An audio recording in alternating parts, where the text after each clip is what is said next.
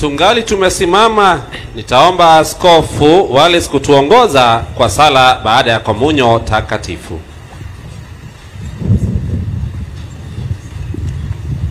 Tuombe.